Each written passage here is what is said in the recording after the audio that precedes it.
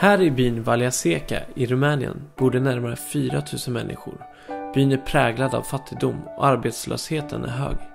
Mitt i byn har Hoppets Stjärna startat ett resurs och utbildningscenter. Hit kommer det 40 barn om dagen som får extra undervisning och hjälp med läxorna. Ett varmt mål mat. Och bli tvättade. Ett problem i samhället är den dåliga hygien som är i hemmet.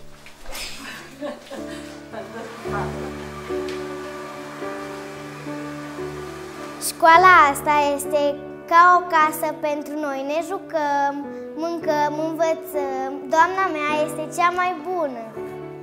Detta är en plats där drömmar skapas. Eu vreau să mă fac cântăreață.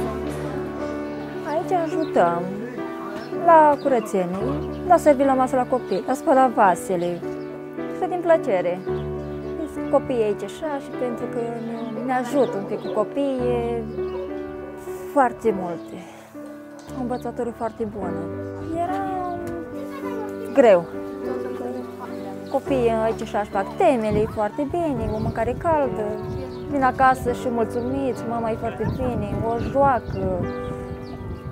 La noi nu tragi corele multe, că e cam greu cu bănuții pentru... Varje vecka delar centret ut kassar till familjer i nöd.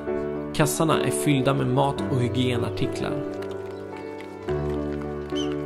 Barnen som är i centrets verksamhet är där för att de verkligen behöver det. De flesta hemmen är förfallna.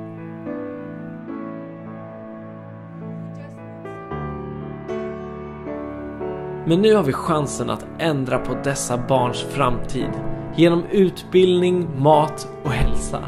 Och vi nöjer oss inte med att hjälpa 40 barn. Vi vill kunna utöka antalet så snart som möjligt. Var med och bidra till detta.